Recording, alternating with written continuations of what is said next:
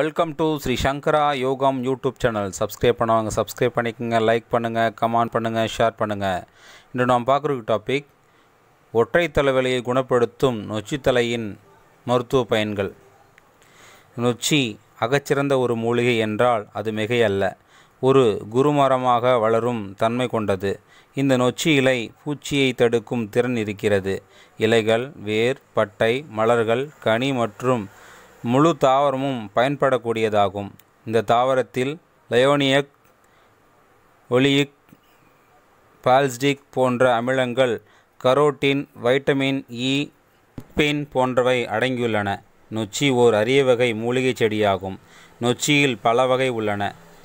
கருநொச்சி செந்நொச்சி சாம்பல் நொச்சி நொச்சி வகைகளை குறிப்பிடலாம். நொச்சி செடியாகப்பட்டது ஆதி காலத்திலிருந்து ஆவி பிடிப்பதற்கு கொசுகளை விரட்டுவதற்கு பயன்படுத்தப்பட்டுள்ளன. தலைவலி பிரச்சனை. தலைவலி என்பது உடல் உணர்வுகளில் ஏற்படும் மாற்றங்கள் தீவிரமான தலைவலி குமட்டல் போன்ற அறிகுறிகளை கொண்ட நரம்பியல் தொடர்பான ஒரு நோய்குறி ஆகும் உடல் ஏங்கியல் நோக்கில் பார்க்கும்போது இந்த ஒற்றை தலைவலியானது ஆண்களை விட பெண்களிலேயே அதிகம் ஏற்படும் ஓர் நரம்பியல் அசாதாரண நிலையாகும்.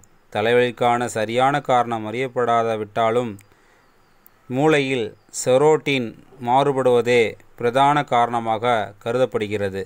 அத்துடன் பெண்களில் அகச்சுருக்கம் தொகுதியில் ஏற்படும் சமநிலை மாற்றங்கள் காரணமாக கருதப்படுகிறது. நொச்சி உபயோகிக்கும் முறை நொச்சி இலையை நீரில் போட்டு கொதிக்க வைத்து ஆவி பிடித்து வந்தால் மூக்கடைப்பில் தொடங்கி ஜலதோஷம் வரை குணப்படுத்தும். தீராத தலை பாரம் தலைவலி போன்ற தலை சம்பந்த பிரச்சனைகள் ஓர் அரிய வகை மருந்தாகும். நொச்சி இலை சிறிது ஆமணக்கு எண்ணெய் விட்டு வதக்கி ஒத்தரம் கொடுத்தால் மூட்டு வலி மூட்டு வீக்கம் அனைத்தும் குணமாகும். இரத்த பேதி இரத்த வாந்தி போன்றவற்றிற்கு நொச்சி மலர்களை நிழலில் உரத்தி பொடி செய்து சாப்பிட்டு வர வேண்டும். படைத்த இறைவனுக்கும் பெற்றெடுத்த தாய் தந்தையருக்கும் வாய்ப்பு கொடுத்த குருவுக்கும் நன்றி.